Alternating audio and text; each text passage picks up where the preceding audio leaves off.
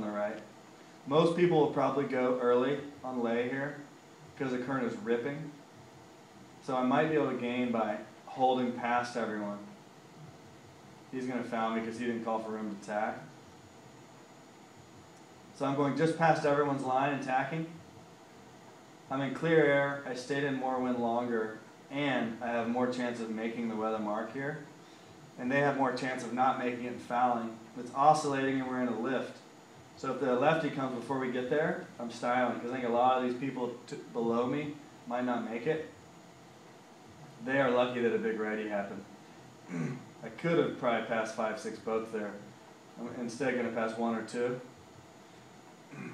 Per and excuse me who fouled. But still, two is better than nothing.